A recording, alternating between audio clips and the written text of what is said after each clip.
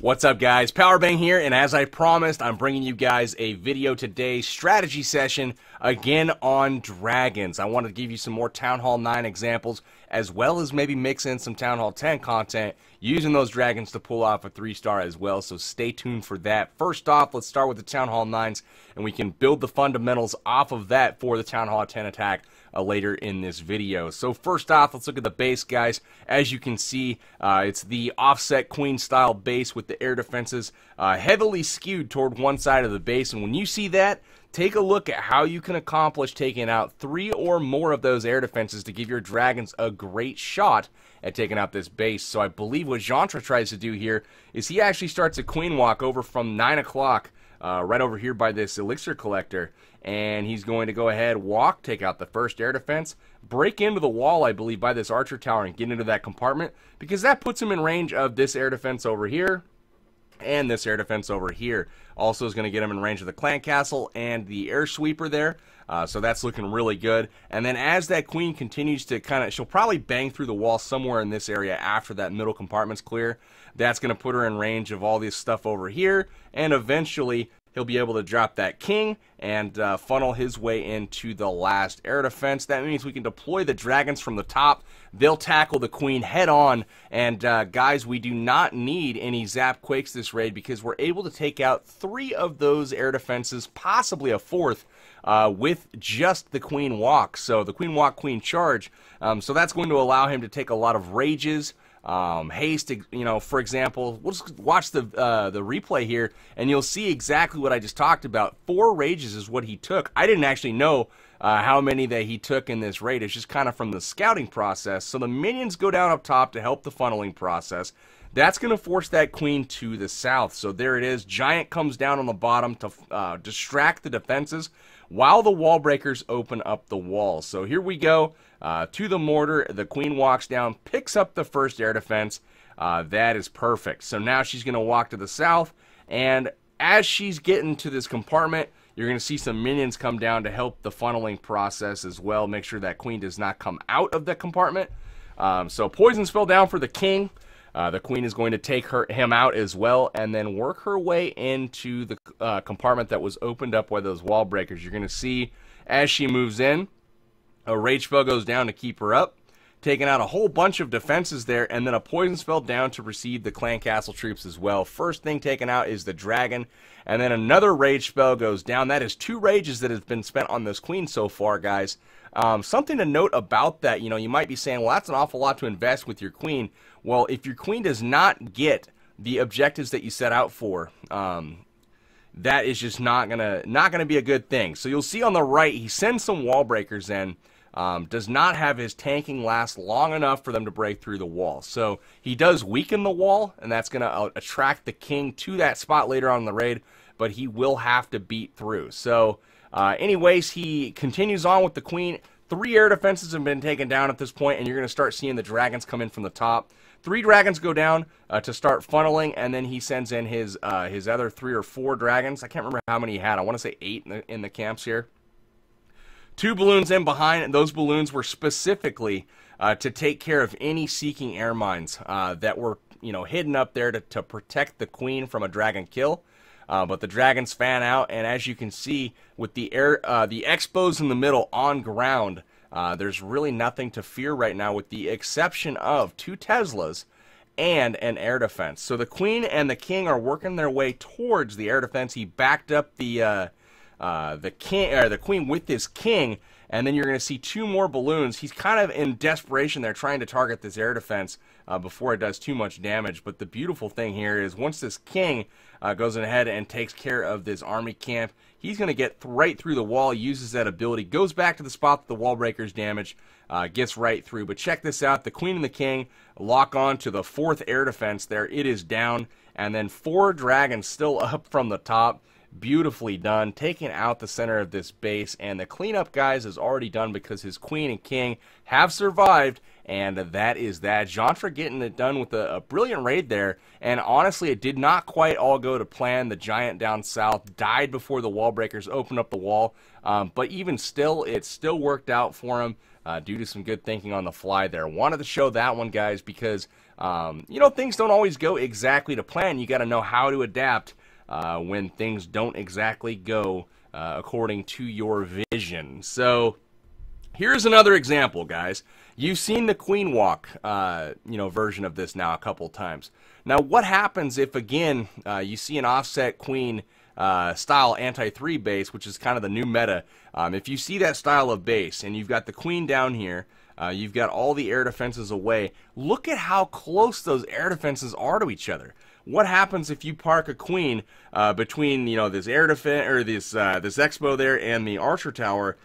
She's going to have an absolute field day, taking out everything that is dear to this base. But what he does, guys, is more or less adapts the max attack, which is the uh, quad quake method of entering the base, uh, with a normal shatter kill squad. So you're going to see two golems come down.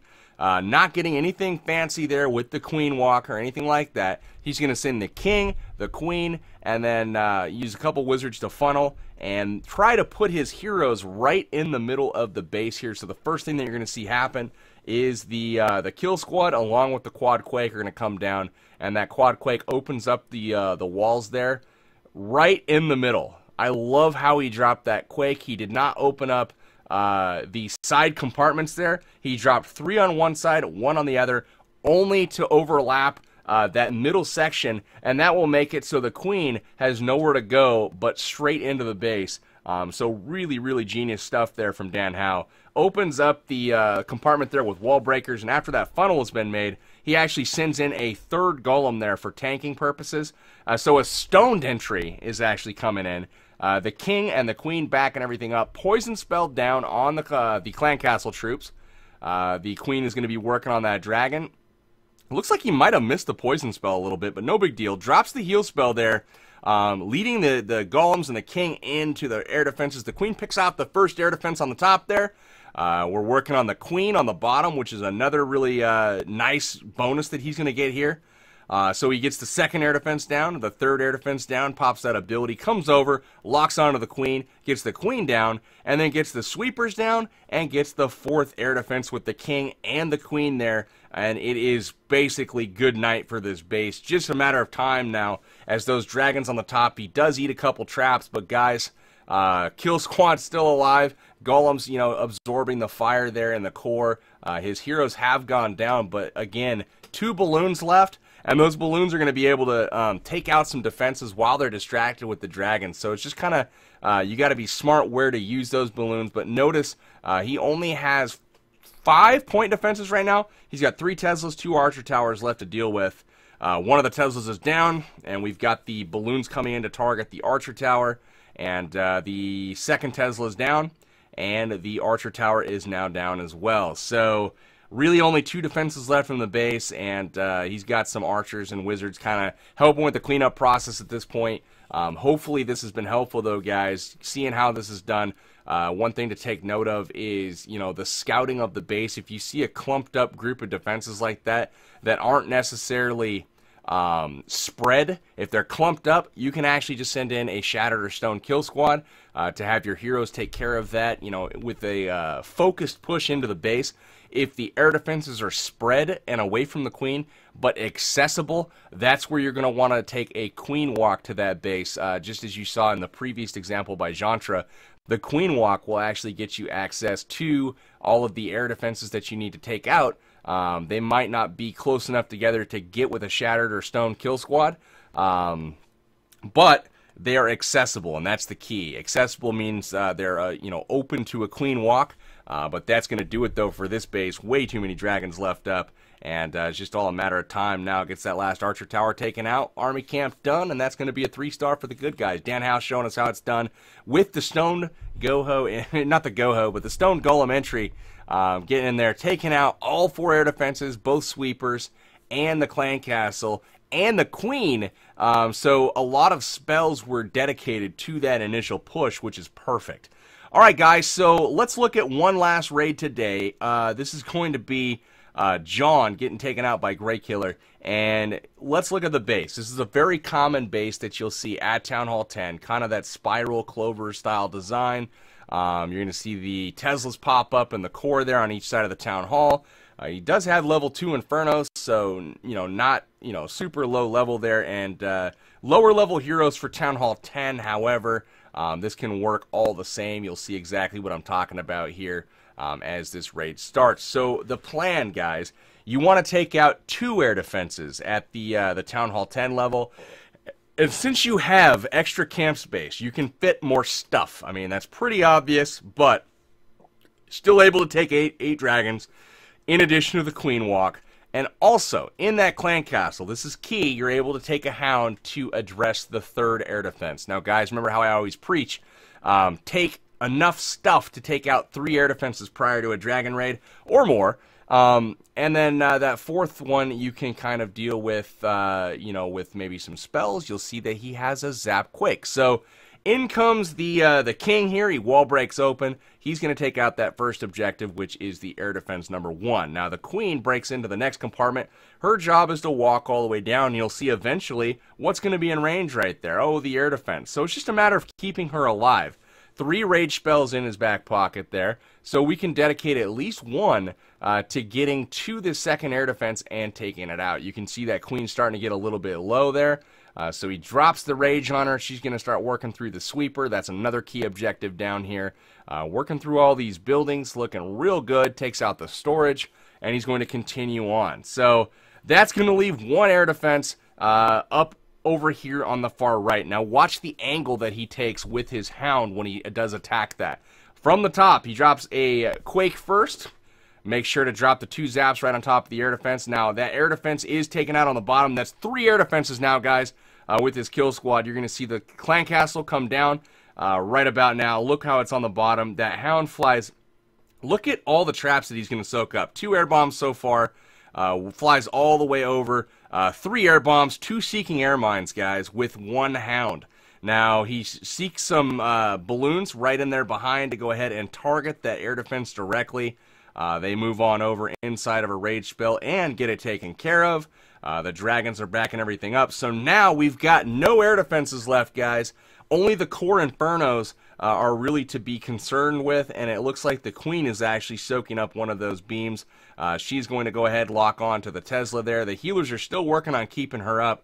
Uh, the dragons have really, really, really high hit points, guys. So the multi infernos really pose no threat to the, you know, the heroes, the dragons. Look at how uh, they are not even fazed by those multi infernos. They're going to get into the uh, the last part of this base. There is three defenses right now that are really plaguing them, and that is going to be the X-Bow and two Archer towers there. Uh, but no big deal. It looks like we have a Queen at full health. Uh, that is going to help out taking care of the X-Bow there and stepping up to take out the Archer Tower. Uh, getting some skeleton traps as well, though, guys. We still have four dragons, it looks like. Three dragons still up in the air um, to take out the last couple buildings there. Gets that three star done, and uh, beautiful job accounting for those air defenses. Again, great killer. Uh, took out one air defense with his king, one air defense with his queen. He gets one with the hound, and uh, the balloons and the uh, dragons back up that hound, take out the third air defense, and the fourth one was dealt with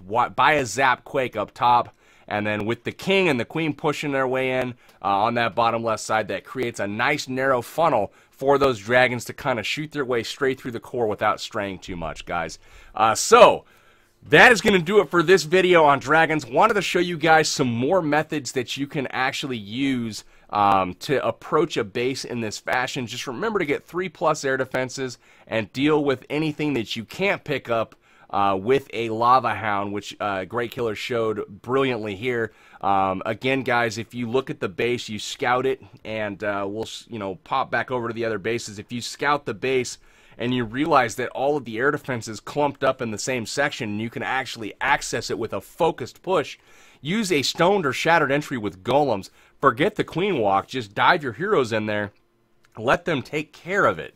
So Dan Howe showed exactly how to do that. Rewind it, watch it again if you want to see more. And then if you want to see another example, uh, let's check out Jantra. And Jantra did a great job scouting the base here And you'll notice that the air defenses again are away from that queen. They are all accessible as long as this wall piece here is broken and the queen can get into that compartment. That's going to allow her to pick up three air defenses and an air sweeper. Um, and that is a, a, brilliant thing to have happen. And then the goal was to take out the fourth air defense by wall breaking in uh, this part over here. Uh, and then accessing it with the king. He did have to adapt on the fly for that, but all four air defenses had a plan that allowed him to take four rages and really uh, give the dragons an extra boost as they headed through the base. So, guys, that is going to do it for this strategy guide on dragons for Town Hall 9 and Town Hall 10. Hopefully, you've enjoyed the video. If you liked it, hit that like button. Share this with your clanmates, guys. And if you're new to the channel, hit that subscribe button. I'll be coming at you with some more Clash of Clans content in the very near future. We'll see you guys tomorrow. Have a great day. This Powerbang, and I'm out.